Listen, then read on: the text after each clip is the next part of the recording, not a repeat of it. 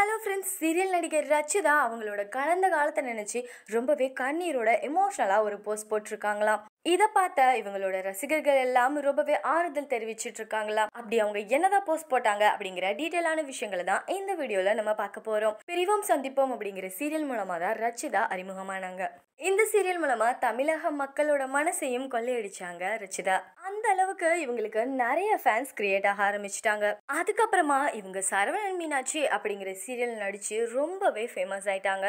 இந்த சீரியலுக்கு அப்புறமா நாம் இருவர் நமக்கு இருவர் நாச்சியார்புரம் இது சொல்ல மறந்த கதை அப்படின்னு தொடர்ந்து சீரியல்ல நடிச்சுட்டே இருந்தாங்க. அது மட்டும் இல்லாம விஜய் டிவில டெலிகாஸ்ட் ஆன பிக் பாஸ் ஷோலையும் கலந்துக்கிட்டாங்க. அந்த பிக் பாஸ் நிகழ்ச்சியில இவங்க இவங்களோட கணவரை பத்தி எதுவுமே பேசாததுனால ரசிகர்கள் எல்லாம் இவங்க பிரிஞ்சிட்டாங்க அப்படின்னு கன்ஃபார்மே பண்ணிட்டாங்க. இந்த பிக் பாஸ் ஷோவை விட்டு வெளியில வந்து கொஞ்ச நாள்லயே தன்னோட கணவரான தினேஷ் தனக்கு ஆபாச மெசேஜ் எல்லாம் அனுப்புறாங்க அப்படின்னு சொல்லி போலீஸ்ல புகார் கொடுத்திருந்தாங்க ரச்சிதா. இந்த விஷயத்த கண்டிப்பா நீங்க எல்லாருமே கேள்விப்பட்டிருப்பீங்க. இந்த விஷயம் ரொம்ப வைரலாகவும் போச்சு. இந்த நிலையில இப்போ ரச்சிதா ரொம்பவே எமோஷனல் ஒரு பதிவை போட்டிருக்காங்க இன்ஸ்டாகிராமில். அப்படி அந்த பதிவுல என்ன இருந்துச்சு அப்படின்னா ஒரு பாடலை போட்டு அதுக்கு கீழே வலிமையான அனைத்து ஆன்மாவிற்காக அப்படின்னு போட்டிருந்தாங்க. கடந்த காலங்களை நீங்கள் எப்படி கையாண்டீர்கள் அப்படின்னு நினைச்சு பெருமைப்படுங்க. இந்த மௌன போர்கள் உங்களை தாழ்த்தி கொண்ட வேண்டிய தருணத்தில் தாழ் துடைத்து கொண்டு உங்கள் முதுகில் உங்களை தட்டி கொள்ளுங்கள். பாடலில் ஆழமாக போகிறேன் கண்களை துடைக்கும் அந்த மந்திர வார்த்தைகள் அப்படின்னு பதிவிட்டிருக்காங்க.